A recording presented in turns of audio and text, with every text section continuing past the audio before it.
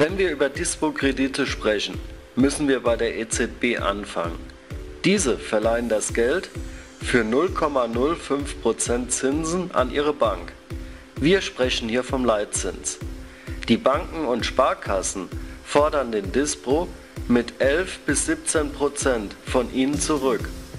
Unser Volksbegehren soll diese Ungerechtigkeit beenden und fordert maximal 5% über den Leitzins ein.